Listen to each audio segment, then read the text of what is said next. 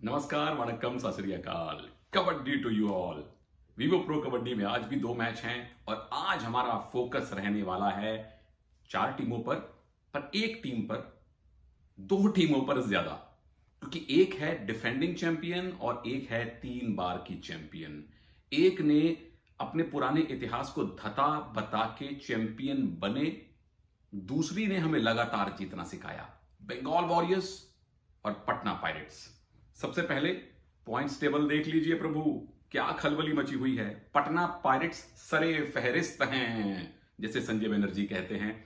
उनका मुकाबला है नंबर 11 पे चल रही पटना पुनेरी पलटन से। पीपी बनाम पीपी। दबंग दिल्ली टॉप तीन में है, जीती नंबर दो पर आ जाएगी, वो खेल रही हैं बंगाल वॉरियर से। यानी संजय बनर्जी का आधा दिल, क्योंकि वो दिल्ली में रहते हैं। दिल्ली की तरफ़ आधा दिल, बंगाल की तरफ़, क्योंकि वो मिस्टर बनर्जी हैं। आपका दिल कहाँ है? पॉइंट्स टेबल देखिए, नीचे से पढ़ना शुरू कीजिए। आप यहाँ देखिए, मैं यहाँ देखता हूँ। अपने सामने ये नीचे मेरी स्क्रीन है। बंगाल वॉरियर्स पुनेरी पल्टन 42 पॉइंट बंगाल 44 तमिल 46 मुंबई 48 गुजरात 49 उनचास, जयपुर इक्यावन, फिर बावन, पचपन, सत्तावन, अट्ठावन। कैसी सीढ़ियाँ चढ़ रहे हैं हम ऊपर? चलिए मैचेस की चर्चा करते हैं। आज दबंग दिल्ली के कोच साहब कृष्ण कुमार हुड्डा साहब का जन्मदिन है। बहुत बहुत मुबारक। एक बार फिर से आपको बधाई कृष्ण कुमार हुड्डा साहब। हरियाणा के कोच रहे, हरियाणा पुलिस के कोच रहे, हरियाणा की कबड्डी को नेशनल्स में अरसे बाद पटरी पर लाने का श्रेय हुड्डा साहब को जाता है। दिल्ली को प्ले ऑफ़ में लाने का फाइनल खिलवाने का श्रेय हुड्डा साहब को जाता है। आज बुल्स के कोच रणधीर सिंह सरावत साहब का भी जन्मदिन है। प्लेयर ब्यूटीफुल संदीप ढुल का भी जन्मदिन है। हरियाणा के नए लेफ़्ट कॉर्नर अक्षय कुमार का भी जन्मदिन है। सब नु लख लख बधाइया। आज दिल्ली के लिए क्या स्थिति है? जीते तो नंबर तीन से नंबर दो स्थान पे पहुँच जाएँगे। बंगाल हारे तो प्लेऑफ की दौड़ तकरीबन तकरीबन खत्म हो जाएगी। डिफेंडिंग चैंपियन क्या आज ही जाएँगे प्लेऑफ की दौड़ से बाहर? आइए पता करें। सबसे पहले बात दिल्ली की। पिछली बार के फाइनलिस्ट पर अब दिल्ली दूर नहीं है प्रभु इनसे। पाँच मैच पाँच मैच बाकी हैं, सत्तावन पॉइंट हैं। दो जीत लिए तो दाखिला पक्का, क्योंकि दो जीत के आप जाएँगे 67 पर, सड़सठ पर। सड़सठ के साथ आप क्वालिफाई हो जाने चाहिए। पिछले सीज़न में बेंगलुरु बुल्स के चौसठ पॉइंट थे और वो क्वालिफाई हो गए थे।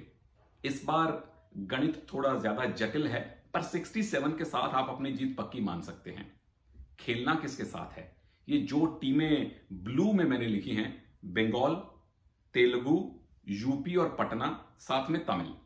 पहली चार टीम जो ब्लू में है, उन सभी से दिल्ली ने पहले मुकाबला जीता है इस सीज़न में। यानी एक मनोवैज्ञानिक लाभ उनके पास है। तमिल तलाईवास के तमिल टाई वाला के साथ दिल्ली का पिछला मुकाबला टाई हुआ था। तो यानी पाँचों ऐसी टीमों के साथ दिल्ली को अभी खेलना है जिनसे वो इस सीज़न में हारे नहीं है। तो स्थिति दिल्ली की सुखद है। परेशानी कहाँ है प्रभु? यहाँ है। कितना गणित किया देखो मैंने। इतना स्कूल में पढ़ा होता तो आज शायद आईआईटी क्लियर कर गया होता। या नहीं, मेरा मैथ बहुत ही एवरेज था। गत विजेता बंगाल वॉरियर्स डिफेंडिंग चैंपियन क्या बाहर होंगे आज? क्यों? चार मैच बाकी हैं आपके। आपके पास हैं अभी चौवालीस पॉइंट फोर्टी फोर पॉइंट चारों मैचेस जीते हाँ चारों मैचेस जीते तो चार इंटू पाँच कितने बने? बीस पॉइंट चौवालीस अभी हैं, जोड़ दीजिए, बन गए चौसठ। पिछली बार बुल्स चौसठ पॉइंट लेके क्वालिफाई हो गए थे, लेकिन जैसे प्री मेडिकल टेस्ट में हर साल कट ऑफ़ ऊपर नीचे जाती रहती है, यहाँ भी कट ऑफ़ ऊपर नीचे जा सकती है। हो सकता है इस बार बासठ वाली टीम क्वालिफाई कर जाए, हो सकता है इस बार पैंसठ वाली भी ना करे, क्योंकि पॉइंट्स टेबल दिखाया था ना मैंने आपको, कितना कड़ा मुकाबला है। और उसके बाद स्कोर डिफरेंस वो तो प्रभु एक अलग ही दास्तान है। उस पर तो ग्रंथ लिखेंगे हम, कभी ना कभी अपने वीडियोस में। तो आज अगर बंगाल हारी, उसके बाद की सूरत भी देख लीजिए। यानी आज हारे और अगले तीन मैच जीते तो मैक्सिमम बनेंगे आपके 59 उसके साथ प्रभु सीज़न आठ में क्वालिफाई करना बड़ा कठिन है। उतना ही मुश्किल है जितना पंजाबियों के सामने सरसों के साग की प्लेट रखी हो और वो खाली ना हो। बंगाल चारों मैचेस जीते तो भी क्वालिफाई कर जाए तो गनीमत है। आज अगर नहीं जीते टाई भी हुआ तो मैक्सिमम 61 आज अगर हारे तो मैक्सिमम 59 यानी डिफेंडिंग चैंपियन हर एक मैच जीतना ज़रूरी है और फिर दुआएँ करनी है, प्रार्थनाएँ करनी है। लेकिन अगर आज हार गए प्रभु तो प्ले ऑफ़ के लिए जो दाखिला है वो आपके लिए लगभग बंद हो जाएगा। जीत का सूत्र जल्दी से बताता हूँ, बंगाल का सूत्र हमेशा मनिंदर के हाथ में रहता है। मनिंदर को चलना है। मनिंदर अगर टीम में नहीं है, कोर्ट मैट पर, कोर्ट पर नहीं है, मैट पर नहीं है तो उन्हें जल्दी रिवाइव करवाना है। और मनिंदर को रोकने के लिए जीत का सूत्र है दिल्ली के लेफ़्ट कॉर्नर, माफ़ी चाहता हूँ, जोगिंदर भाई के हाथ में।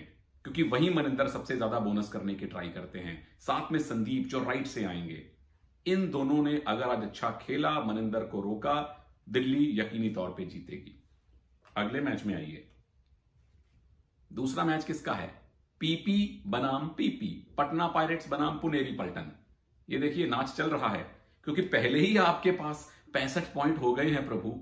आज जीते तो सत्तर पॉइंट के साथ पार्टी शुरू। पुनेरी पल्टन फ़िलहाल ग्यारहवें स्थान पर है, जीती तो नवे स्थान पर आएगी। स्थिति उनकी बुरी नहीं है, मैं बताता हूँ क्यों। पटना के लल्ला का मचाएँगे भाई हल्ला, क्योंकि पाँच मैच बाकी हैं, पैंसठ पॉइंट पहले ही जेब में हैं। आज जीते सत्तर पॉइंट, दो सौ परसेंट खेलेंगे प्ले ऑफ़ मैं कोरे कागज़ पे लिख के दे सकता हूँ आपको, लेकिन उनका लक्ष्य है बड़ा। सिर्फ़ क्वालिफाई नहीं होना है, नंबर एक या नंबर दो रहना है। क्यों? क्योंकि जो टीम पॉइंट्स टेबल में नंबर एक या नंबर दो पे फिनिश करेगी, वो सीधे सेमीफाइनल खेलेगी। जो टीम नंबर तीन, चार, पाँच या छह पे रही, उसको पहले क्वालिफायर खेलना है, जो कि एक तरह से क्वार्टर फाइनल है। तो पटना आज जीते, यकीनी तौर पे प्ले ऑफ़ लेकिन कोशिश उनकी होगी सारे मैचेस जीते, ताकि नंबर एक और नंबर दो की जगह पक्की रहे। पुनेरी पल्टन पे आइए। पुनेरी पल्टन नीचे हैं, पर स्थिति इनकी बुरी नहीं है, अच्छी स्थिति है। क्यों? क्योंकि सात मैच बाकी हैं अनूप कुमार जी की टीम के, और बयालीस पॉइंट हैं अभी जेब में। तो मैथमेटिक्स गणित क्या बनता है? सात में से पाँच मैच जीत लिए तो आपके हो जाएँगे सिक्सटी सेवन पॉइंट यानी कि चार जीत के साथ आप रहेंगे जोखिम में। पाँच जीतने हैं आपने। खेलना किसके साथ है? पटना से, तमिल तलाईवा से, जयपुर से और हरियाणा से। ये चारों टीमें पहले पुणे को हरा चुकी हैं, इसलिए रेड में हैं।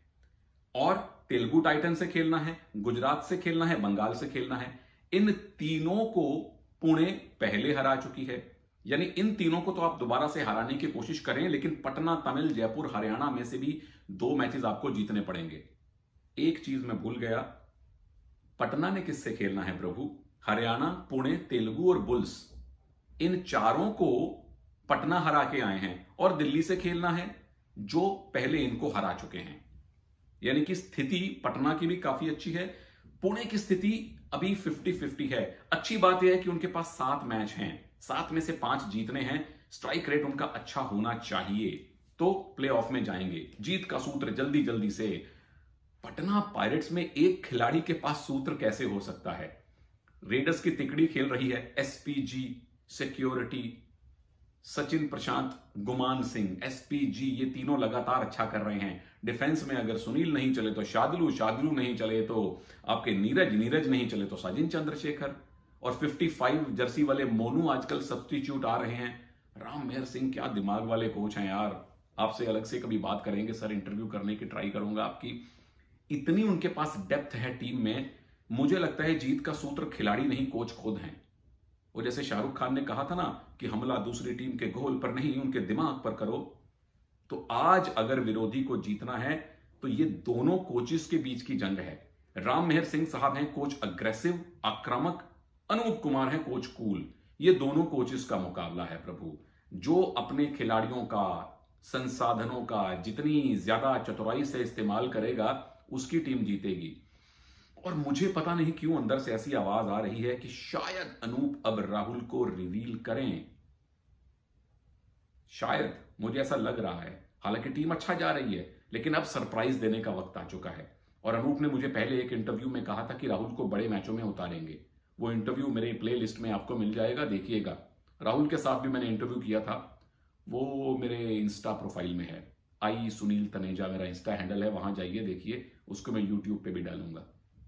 तो ये हैं दोस्तों आज के जीत के सूत्र, आज के सुनील के सूत्र और आज पॉइंट्स टेबल में क्या स्थिति रहेगी टीमों की जीत और हार के बाद। रिपीट करता हूँ, पटना जीते 200 परसेंट प्ले खेलेंगे।